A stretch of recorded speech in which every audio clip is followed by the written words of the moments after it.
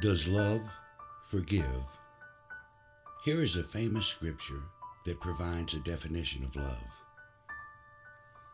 Love is patient, love is kind, and is not jealous. Love does not brag and is not arrogant. Love does not act unbecomingly.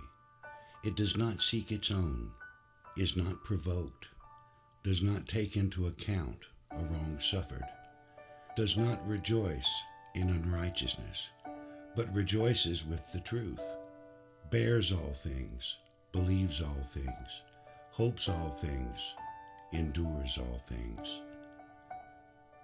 If this is indeed an accurate definition of love, please notice that nowhere in the description does it state love forgives. And why is that? It clearly states it does not seek its own, so it is not provoked, and does not take into account a wrong suffered. There's a huge difference in this disposition and the idea of forgiveness. As we seek our own, we are easily provoked, and we make lists. We seem to equate a perceived wrong suffered with the idea of debt, and somebody's going to have to pay. And we extract payment in many ways as we seek to settle the score. Somebody's making a list and checking it twice, deciding who's naughty or nice, and this impostor isn't big on giving gifts. Oh no, it's an eye for an eye. Don't get me wrong, forgiveness is certainly a loving act if we ever really get around to doing it. But we seem hell bent to charge admission for that which can only occur when it is freely given. I can assure you that real love doesn't require restitution, reparations, or reciprocity.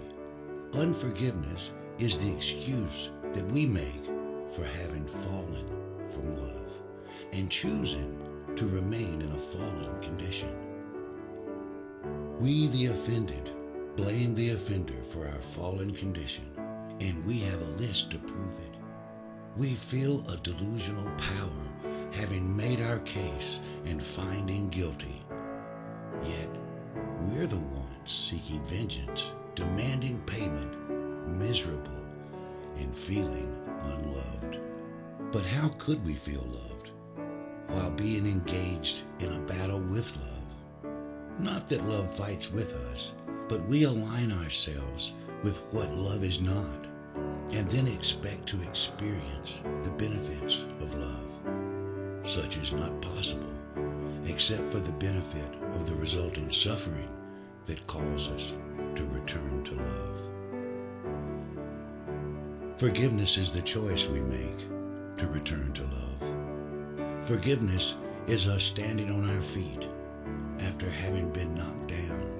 Forgiveness is destroying the list, not the offender. Forgiveness is a valuable tool best applied to oneself for choosing to remain in a fallen condition for the offending behavior of another. Does love forgive?